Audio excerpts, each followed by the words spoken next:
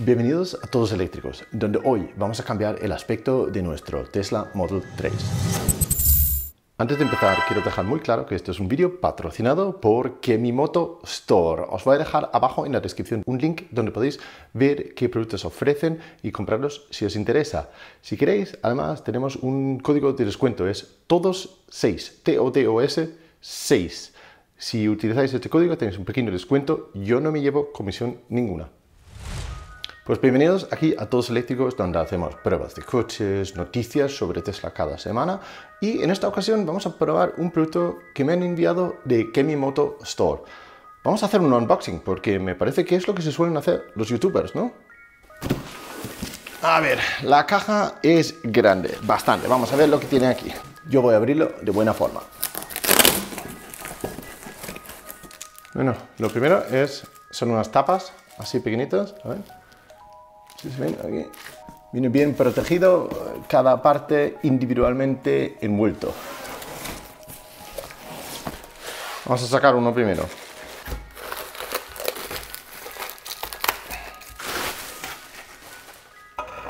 Ok, todo este material de protección lo recogeremos luego, ¿vale?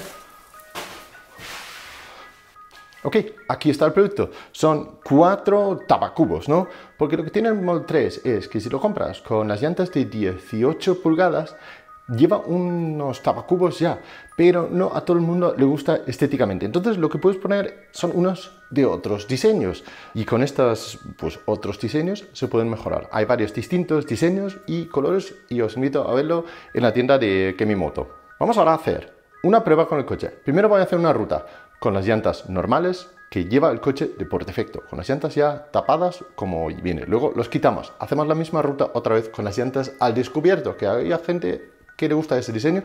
Y luego vamos a poner estos, a ver qué aspecto le queda al coche y a ver si mejora la aerodinámica o lo empeora para ver cómo afecta a la autonomía del coche. Venga, vamos ahí fuera a montarlos. Primera parte de la prueba. Ahora mismo tengo los tapacubos normales del coche puestos. Vamos a ver, tengo aquí eh, la presión de los neumáticos. 2,9 en un lado y 3,0. Bueno, la temperatura puede variar un poquito. La presión fuera hacen 18 grados ahora mismo. Trayectos, ponemos ahora mismo el de viaje, lo restablecemos para que esté en cero. Tenemos 90% de batería. El coche está, no está del todo frío porque lo llevo desde casa y lo he calentado mientras estaba cargando en casa. Entonces vamos ahora a ir en autopista. Velocidad máxima legal. Luego cambiamos las llantas y a ver lo que pasa.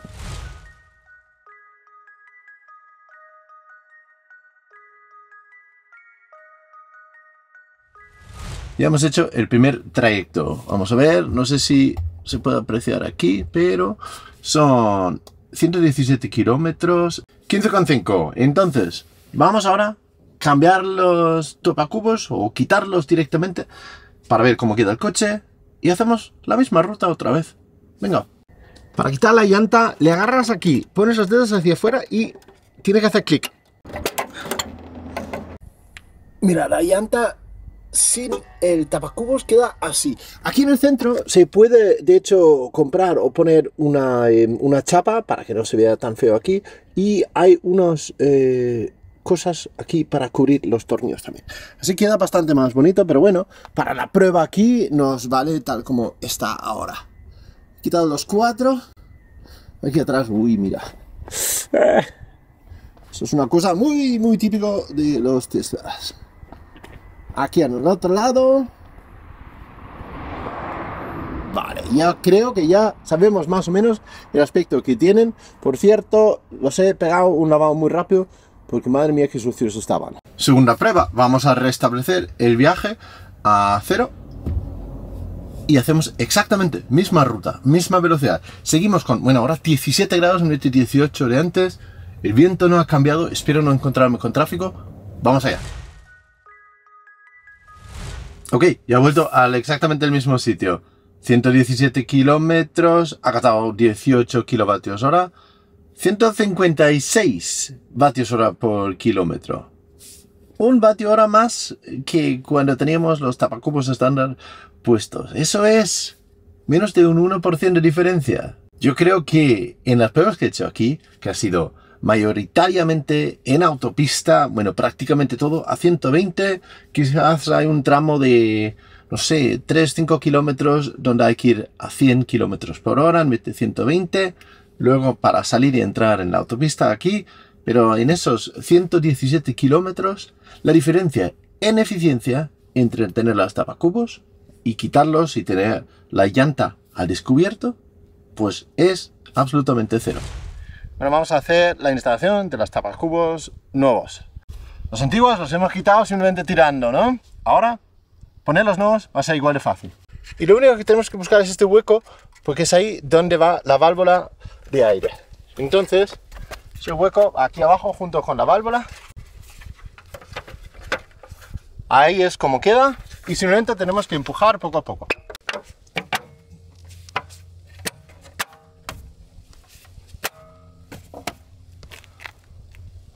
Ya está. Mira, en el centro encontráis una pegatina de 3M y 5 agujeros. Eso es porque se puede montar una chapa con otro diseño, con logotipo o lo que sea encima. Si lo compráis tal como viene aquí en el vídeo, viene con cuatro chapas así. Otra vez, tan fácil de instalar como para quitar el plástico protector aquí atrás, quitar el papelito de 3M y simplemente ponerlo encima y quitamos el plástico que va por encima. Ya está. Repetimos la misma operación en las cuatro llantas. Mira, un detallito curioso. Aquí se ha raspado un poco la llanta al aparcar. De eso tengo que hablar con mi mujer, pero eso es otra cosa aparte. Ahora mira, pongo el tapacubo nuevo.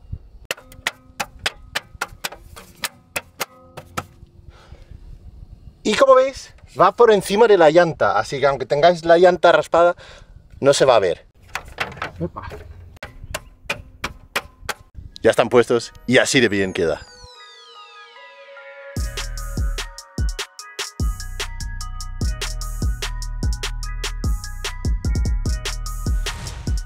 A mí me encanta porque mantiene el color negro negro del coche. Antes los tapacubos tenían el punto gris, que era el único sitio en el coche con un tono gris. Bueno, pero si no os gusta este diseño exactamente, puedes mirar en la página de Kemimoto.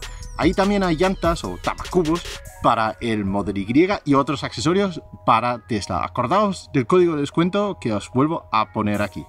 Bueno, vamos ahora a ver la eficiencia, a ver si ha mejorado o a ver si ha empeorado. Hmm.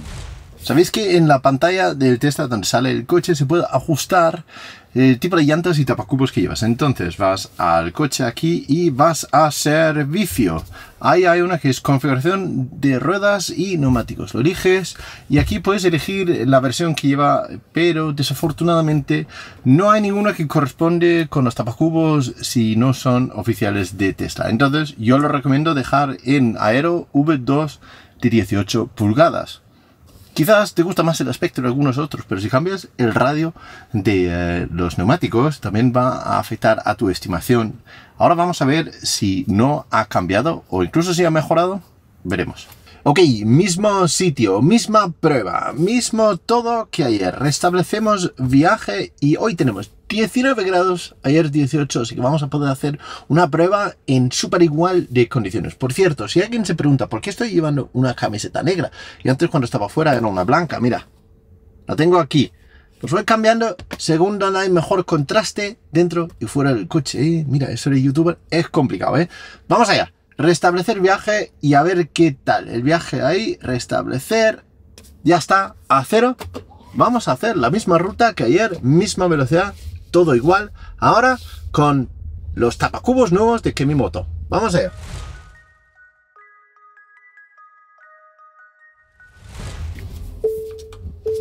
Ok, hemos terminado la última ruta con las llantas nuevas.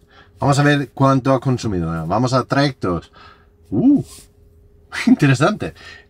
117 kilómetros exactamente igual que ayer. 17 kilovatios hora de energía en vez de los 18 con, eh, con los tabacubos originales e incluso sin. Energía media, 149 vatios hora por kilómetro. son 5 o 6 vatios hora por kilómetro o 0,5 o 0,6 kilovatios hora por 100 kilómetros menos con las llantas nuevas.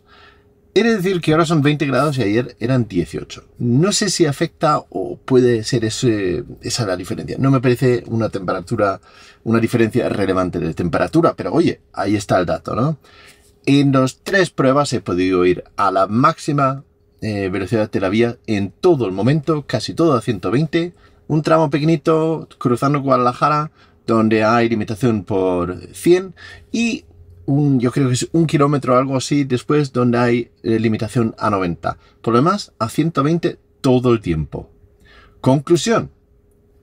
Estas llantas, desde luego, no te van a consumir más, empezando por ahí. ¿Van a consumir menos? Es posible, porque yo he consumido menos con estas llantas. Puede haber factores externos que hagan que, que esto es el consumo inferior, pero... Pinta bien, ¿no? Pues muchas gracias por seguir el vídeo, chicos. Eh, acordaos que este vídeo está patrocinado por Kemimoto, donde te podéis encontrar estos mismos tapacubos en otros colores y otros diseños, tanto para el Model 3 como para el Model Y. Acordaos de dar un like, de suscribir y poner un comentario que os parece el aspecto de estos nuevos tapacubos para el Model 3. Venga, chao.